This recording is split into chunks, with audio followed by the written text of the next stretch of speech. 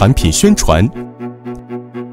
我厂生产的 TP 型土豆脱皮机适用于土豆的脱皮及洗净，是饭店、宾馆、大专院校、厂矿、企事业食堂、食品加工厂土豆脱皮的主要加工设备。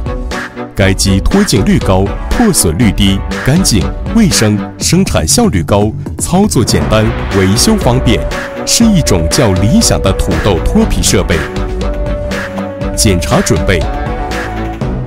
使用前将机器放置在水平地面上，确保机器工作平稳可靠。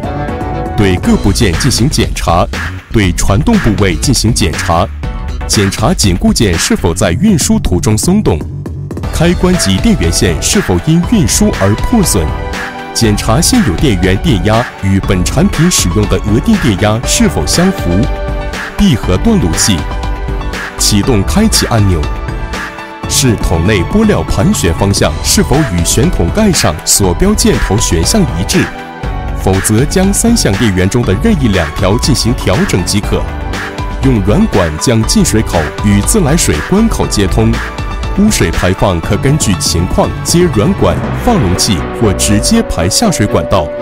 机器运转平稳，并无异常声音是方可试机。操作使用保养。机器开动前，将土豆从盖口放出。TP 三五零型脱皮机每次五至八公斤为宜，TP 四五零型脱皮机每次十五至二十五公斤为宜。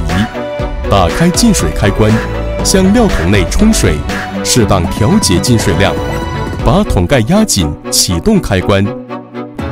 机器工作约两分钟左右。关闭电源开关与进水开关，视土豆脱皮情况。若土豆外皮已脱净，在料桶簸箕下面放好盛土豆的容器，打开出料门，启动电源开关。土豆在拨料盘旋转作用下，从桶门口自动排除。连续脱洗土豆五次左右，或每次用完后，在旋桶底部将积存一部分土豆皮和泥土。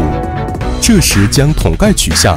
提出拨料盘，用水冲洗干净，然后依次安装即可。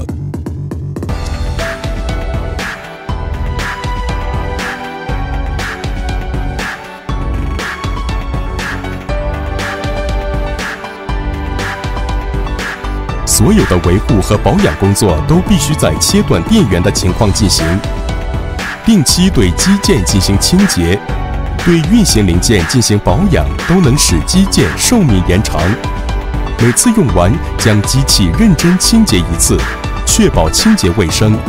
清洁时不得用锐器清洁料桶，以免将料桶损坏。